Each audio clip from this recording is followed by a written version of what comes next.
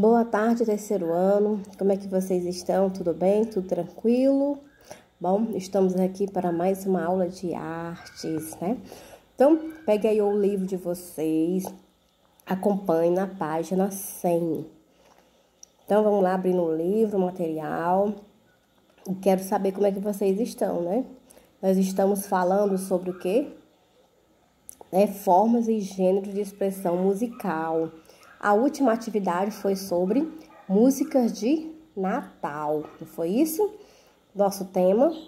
Bom, então hoje aqui na página 100, nós vamos falar um pouco sobre a música dos tupinambás, né? O tupinambás, como diz aí o texto, a leitura, né? Então diz assim: muito antes de os portugueses chegarem à América, os povos indígenas que viviam aqui já criavam música. Veja o registro de um canto do povo indígena Tupinambá, feito por um músico francês. Bom, então aí temos uma partitura, né? Aí temos aí um, um manto Tupinambá, né? Cerca de 1600, é, de fibras naturais e penas de guará. 120 centímetros. Bom, então dessas partituras aí, a gente vê uma letra de uma música, né? Que esse músico francês, ele escreveu, né? Depois de ouvir várias vezes, ele escreveu. Bom, então, eu pergunto a vocês, né? Qual será o tema, né, desse canto indígena aqui? Será que vocês imaginam? Será que, que ritmo é esse? Será que é um ritmo tipo rock? É um tipo samba? Que tipo é esse, né? E de que ele fala? Quem será que sabe dizer, né? O que, que significa essas palavras? Não é? Vocês imaginam qual é o significado dessas palavras? Bom, então vão imaginando aí, colocando a imaginação de vocês para funcionar, tá? Bom, então aí tem uma legenda seguinte, que o canto dos tupinambás, transcrito em partitura no século XVI pelo viajante francês Jean de Leire. Bom, então, é, esse registro do canto indígena tupinambá foi feito, né, como eu já falei, pelo francês, de nome Jean, de 1536 a 1613. Ele ouviu essa música por volta do ano de 1578 e escreveu dessa forma. Bom, logo na página seguinte, né, a gente tem uma, uma letra de uma música aqui, né? A música da Araruna. Mas nós vamos conversar um pouquinho sobre, né? É, é, essa letra aqui. Logo abaixo, vocês podem também estar tá observando que tem-se que uma imagem, né? A imagem como se fosse a imagem dos índios cantando essa música, é, talvez não uma festa, né? Ou fazendo alguma adoração, ou fazendo algum pedido, ou agradecimento. Né? Então, na gravura, como tem na legenda aí ao lado, diz que é a gravura de uma celebração dos Tupinambá, feita pelo artista belga Theodore Debray do século XVI. Tá? Bom, então vocês podem estar observando bem né, essa, essas figuras, essas imagens e ver o que, é que vocês podem estar refletindo sobre isso, o que, que elas representam para vocês, né? O que, que ela pode estar representando para nós. Bom, a gente pode observar que é o quê? Como se fosse uma celebração da natureza, né? Sempre eles é, gostam de agradecer sempre a natureza.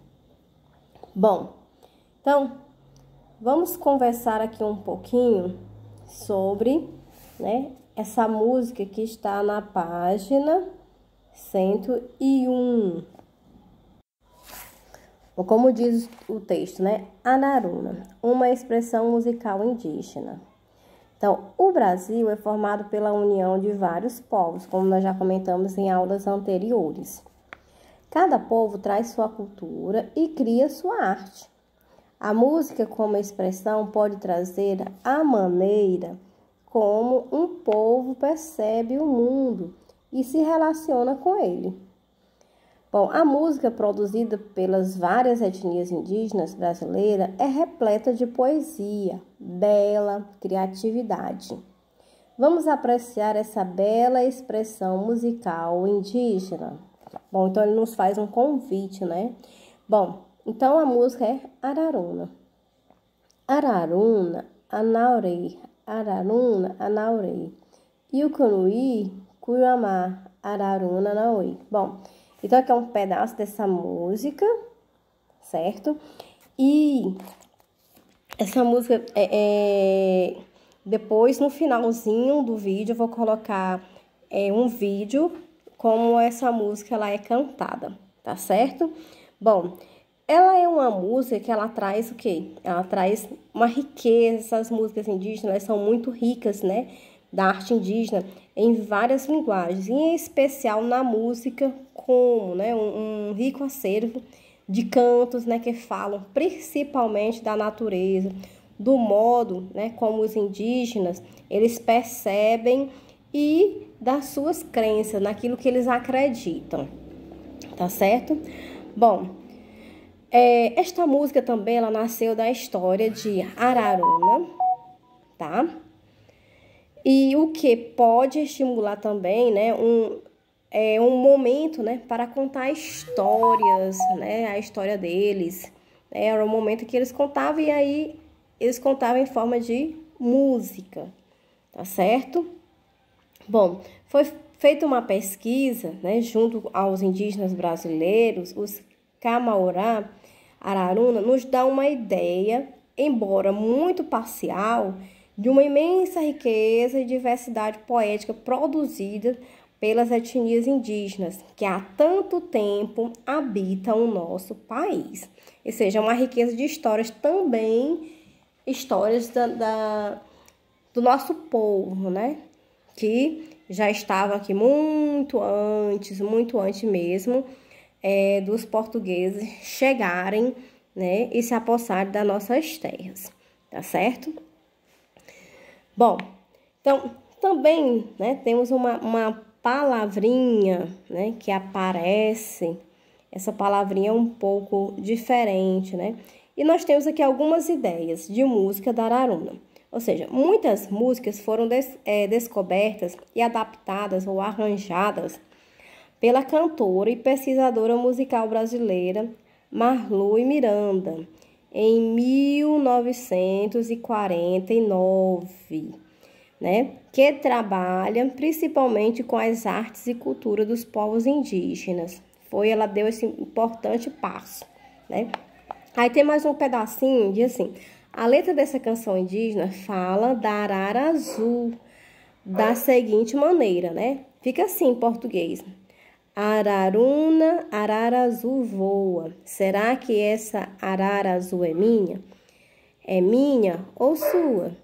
Araruna, canta agora. Araruna, vamos trabalhar. Arauê vai, nós vamos trabalhar. Arauê vai. Araruna, arara azul, voa. Será que é, é minha ou é sua arara azul? Bom, aí ele diz que é o seguinte, né? Que é uma tradução da letra da canção dos indígenas, Camaiuará, gravada por Marlui, né? Miranda, e o Ru. Bom, essa palavrinha Ihu, né? Ele diz que significa só para os indígenas Camaiurá. Bom, para eles, né, essa, essa palavra inclui muitas coisas, desde o som, né, propriamente dito, ruídos ou sonoridades, mas também a música e tudo mais que captamos pela audição, até o que entendemos pela escuta. Né? Então, é uma coisa bem muito interessante. Né? Aí na parte de baixo, aí, ao lado da arara, E assim, e sabe como a canção Araruna chegou até nós? Bom, Marilu Miranda aprendeu em Belém, no Pará, com a indígena Nari Assurini, que havia aprendido com outras pessoas antes. Bom, isso é, é uma coisa bem interessante, a gente ter o conhecimento de como, né, a música chegou até nós. Bom, também não sabemos, né, quem criou essa música, né, Araruna, nem desde quando a canção de fato existe. A gente não sabe, né? Apesar de ela parecer muito atual, possivelmente existe há muito tempo. Não se sabe há quanto tempo. É bem comum entre os povos indígenas a transmissão de música, né, e do conhecimento em geral acontecer de forma oral, né, de boca a ouvido, né, e de geração a geração. Bom, então aqui no caso, né, o que que o livro nos, que ele nos traz? Qual é a proposta desse autor para nós? Bom, ele quer apenas, né, que a gente conheça, né, e valorize e registre a arte a cultura brasileira, né? E cuidar desse patrimônio tão grande que é o patrimônio indígena, tá certo? Bom, e aí nós temos, né, vários povos indígenas. Nós temos aí, como ele mesmo já falou, nós temos o povo indígena Tupinambá, tá? Temos os Camaiurá, e que são povos que vivem na sua maioria no Parque Nacional do Xingu, que vive na Amazônia, tá? Os Tupinambá, é, esse povo indígena que vive a maioria atualmente na região do Mato Grosso e eles são descendentes de outro povo indígena brasileiro, o Tupi-Guarani, tá? Bom, Tupinambá é o nome de um povo indígena brasileiro que descende da cultura tupi. Eles já habitaram várias partes do Brasil, principalmente na região litoral. Atualmente, um pequeno grupo descendente desse povo, conhecido como Tupinambá de Olivença, vive na re região do município de Ilhéus, na Bahia. Né? Isso é muito interessante para que a gente possa estar é, tá conhecendo mais um pouquinho sobre a história. E o povo indígena é, Camaiuará, né, que foi o que a gente já falou hoje muito, os indígenas Camaiorá vivem na região do Parque Nacional do Xingu e criam sua arte de diferentes maneiras. Entre essas produções está a flauta, uruá, tá?